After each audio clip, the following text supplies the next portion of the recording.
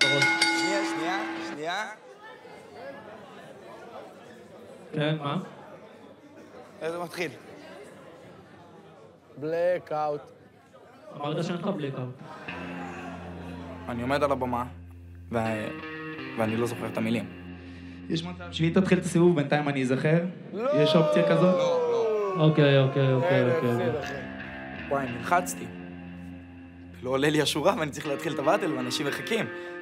אני לא יכול שנייה להסתכל לי תחילת המילים, תחילת הוורס, כאילו חבל שילך לי על זה אחי כל הבטל. אוריאל, בלי פלאפונים. עושה בכזה לחץ. אני קולט שהקהל כאילו כבר מתחיל לאבד סבלנות. הפסיד, אח שלי.